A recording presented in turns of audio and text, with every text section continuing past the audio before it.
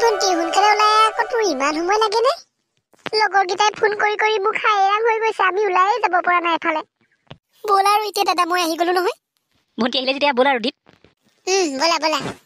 প্ৰীতি প্ৰীতি প্ৰীতি প্ৰীতি মিঠা চিৰা দৈ। প্ৰীতি প্ৰীতি প্ৰীতি প্ৰীতি মিঠা বুৱতী নৈ। তহঁতে ঢোল চোল লৈ কলৈ যা হয়? ঐ গতিয়া তই গমেই পোৱা নাই নি বিহু যে পালেহি। আমি সেইকাৰণে বিহু প্ৰেক্টিচ কৰিব যাওঁ আকৌ। অ হয় নেকি? অ দীপ ঢোলটো অলপ বজাওঁ বজাওঁ লাগিছে অ দে না বহুত দিন হ'ল ঢোল নবজোৱা।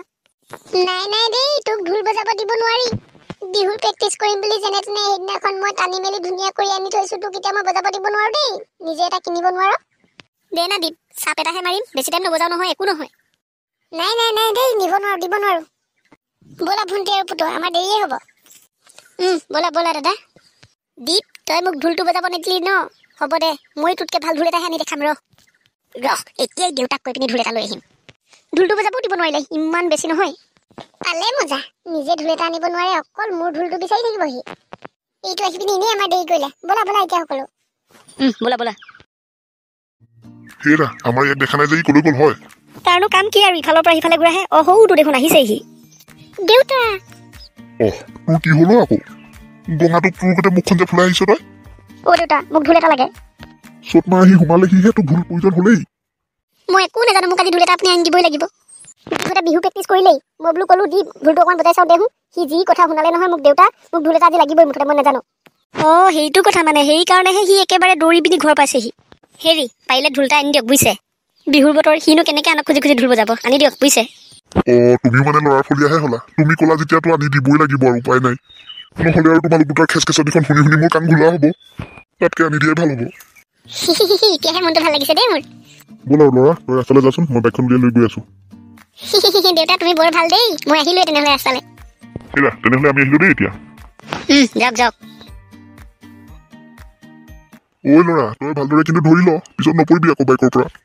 এই দেউতা তুমি সেইবোৰ একো চিন্তা কৰিব নালাগে তুমি মাত্ৰ আগলৈ চাই বাইকখন চলাই যোৱা। অ বাপেক পুতেক দুইটা কোনফালে ওলালে হয়?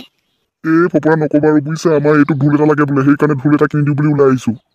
অ তাৰমানে আপোনালোকে ঢোল আনিব যায় ঢোল আনিব যায় যদি মোক লৈ যাওক বুজিছে সিমান খাই। মই বৰ ধুনীয়াকৈ ঢোল চাব জানো। এটা টাইমত মই ঢোল বজাই বজাই গোটেই ঢোল কিমান যে ফালি দিওঁ নহয়। অ হয় নেকি? আহা তেনেহ'লে ভালেই হ'ব। মই ইমান ঢোল চোলবোৰ চাব নাজানো নহয়। ফপৰাকাই তুমি যোৱা যেতিয়া মোৰ আৰু কোনো চিন্তাই নাই বৰ ধুনীয়া ঢোল এটা চাই দিবা। এ মইনা হ'ব হ'ব মই তোমাক বৰ ধুনীয়া ঢোল এটা চাই দিম। আহা বহি লোৱা দেৰি নকৰিবা আৰু এতিয়া। উম, ব'লক ব'লক সিয়ামন কাই মই উঠিলোঁ। উম ভালকে ধৰি লোৱা কিন্তু। আৰে ৰাইজসকল আহি যাওক আহি যাওক মোৰ দোকানত সকলো ধৰণৰ বাদ্যযন্ত্ৰ পাব আপোনালোকে সকলো লৈ যাব পাৰিব। পেপা গগনা ঢোল তাল খোল মৃদং সকলো পাই যাব আহি যাওক আহি যাওক ৰাইজ আপোনালোকে ধুনীয়া ধুনীয়া গীটাৰো পাব। আহি যাওক ৰাইজসকল বিহু অফাৰ চলি আছে সস্তাত পাই বস্তাত ভৰক। অ' হিয়ামন কাই শুনিছেনে? সৌ মানুহজনে ইমান চিঞৰি আছে অফাৰ দিছে বোলে কিবা তালৈকে যাওঁ ব'লক। ব'লা ব'লা সেই দোকানখনতে সোমাওঁগে। আপোনালোক সকলোকে মোৰ দোকানলৈ স্বাগতম জনাইছোঁ। দাদাসকল কওকচোন আপোনালোকক কি দি সহায় কৰিম? হেৰি বুজিছা মোৰ ল'ৰাটোক ঢোল এটা লাগে ঢোল এটা দেখুৱাওঁ অ' আপোনালোকক ঢোল লাগে বহুত ধুনীয়া ধুনীয়া ঢোল আছে। আপোনালোকে নিজৰ ইচ্ছামতে এটা চাই লওকচোন কোনটো পচন্দ কৰে। অ পচন্দ কৰা হওঁ এটা ঢোল? হেৰি এই ঢোলটো মোৰ বৰ ভাল লাগিছে। ইয়াৰ দাম পিছে কিমান? সেইটো একেবাৰে ফাৰ্ষ্ট ক্লাছ ঢোল একেবাৰে পিয়'ৰ গৰু চালৰ ঢোল। তাৰ দাম বেছি নহয় বাৰু নগদ ফিফটিন থাউজেণ্ড পোন্ধৰ হেজাৰ তাতকে কমৰ নাই নেকি? বহুত ধৰণৰ ঢোল আছে তাতকৈ আপোনালোকে কম দামতো পাই যাব ধুনীয়া ধুনীয়া ঢোল। সেইটো যে ওপৰত দেখিছে ৰঙা নীলা কাপোৰে মেৰিয়াই থোৱা সেইটো একদম পিয়'ৰ বাঘৰ ছালৰ ঢোল। সেইটোৰ দাম পিছে অলপ কম। আইঅ' এইজনো কমটি দোকানী নহয় দেই মই গৰু ছালৰ ঢোলৰ কথাহে শুনিছোঁ। এইজনে আকৌ বাঘৰ ছালৰ ঢোল আমাক দেখাইছে। মোৰ দোকানত সকলো ধৰণৰ ঢোল পাব বাঘ সিংহ শিয়াল গাহৰি সকলো ছালৰ পৰা মই ঢোল বনাওঁ অ' দেউতা কি দোকানলৈ আনিলা হয়? কি দোকানী জানো এইজন? বাঘিংহৰ ছালৰ পৰা বাৰু ঢোল বনাই নে? এই ভাইটি তুমি চিন্তা নকৰিবা ইয়াত বহুত ধুনীয়া ধুনীয়া গৰু ছালৰ ঢোলো আছে। তোমাক মই গৰু ছালৰ ধুনীয়া ঢোল এটা দিম ৰ'বা। এইটো লোৱা। এইটো একেবাৰে কলি গৰুৰ ছালেৰে বনোৱা ওজা চাউনীৰ ঢোল। ইয়াৰ চাউণ্ড যিটো নহয় এখন গাঁও নালাগে এখন ডিষ্ট্ৰিক্টে শুনিব। আইঅ' ৰাম এইজনে মানে সকলো ওপৰৰ মালহে ৰাখে। হেৰি দোকানী দাদা গোটেই ডিষ্ট্ৰিক্টে শুনিব নালাগে অকল গাঁওখনৰ মানুহে শুনাকৈ ঢোল এটা দিয়ক। তেনেকুৱা ঢোলো আছে ৰ'বা ৰ'বা মই দিছোঁ এটা। এইটো ঢোল লওক পিয়'ৰ গৰু ছালৰ ঢোল নগদ সাত হাজাৰ টকা। বিহু অফাৰ বুলি এহেজাৰ টকা কমাই দিম। এইটো ঢোল ভালেই দেখিছোঁ দেখোন। ফপৰাকাই এইটো ঢোল মোৰ কাৰণে বৰ ধুনীয়া জোখৰ হ'ব বুজিছে? এইটোকে লৈ দিয়ক। এ নাই নাই নহ'ব নহ'ব। ইয়াক সাত হাজাৰ টকা দি ঢোল কিনি দিব নাই দেই। হেৰি দোকানী ইয়াত টং টং কৰা সেই পোন্ধৰশ মান টকীয়া ঢোল এটা দি দিয়ক। ঢোল হ'লেই হ'ল। অ' দেউতা মোক কিন্তু ইমান সস্তীয়া ঢোল নালাগে দেই মোক ভাল ঢোল এটা কিনি দিয়ক। বাপুতি সাহোন ৰঙালী বিহুটো আমাৰ বছৰেকত এবাৰহে আহে ল'ৰাটোক ভাল ঢোল এটা কিনি দিয়ক বুজিছে? এই তুমি যিখনহে দাম কৈছা আৰু এইটো ঢোলকে লওঁ ল'ৰাটোৱে বিচাৰিছে যেতিয়া টকা তিনি হেজাৰ দিম দিয়া। সেই আপুনি বৰ চিকটা কাষ্টমাৰ হে সাত হাজাৰ টকা বস্তুটো বাৰু মই কেনেদৰে তিনি হাজাৰ টকা দিওঁ হয়? আপুনি কৈছে যেতিয়া টকা পাঁচ হাজাৰ দিয়ক আৰু লৈ যাওক। যি লোকচান লোকচান আৰু মোৰ। হীৰামন কাই ঢোলটো বৰ বেয়া নহয় দিয়ক পাঁচ হাজাৰ দি দিয়ক আৰু। হ'ব আৰু তুমি কৈছা যেতিয়া তেনেহ'লে লৈ লওঁ আৰু ন? লোৱা।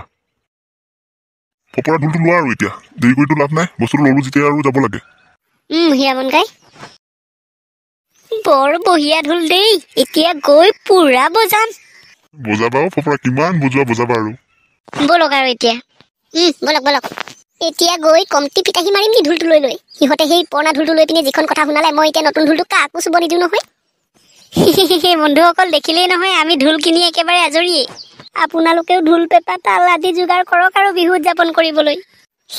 ৰঙালী বিহুটো আৰু ইমান উকাকে যাব দিব নোৱাৰো ন? তেনেহ'লে বন্ধুসকল আজিলৈ ভিডিঅ'টো ইমানতে সামৰিছোঁ দেই। যদি ভিডিঅ'টো চাই ভাল পালে প্লিজ ভিডিঅ'টো লাইক কৰিব দেই বন্ধুসকল। বন্ধুসকল চেনেলটো ছাবস্ক্ৰাইব কৰিবলৈ কিন্তু নাপাহৰিব। তেনেহ'লে বন্ধুসকল অন্য এটা ভিডিঅ'ত পুনৰ লগ পোৱাৰ আশাৰে আজিলৈ বাই বাই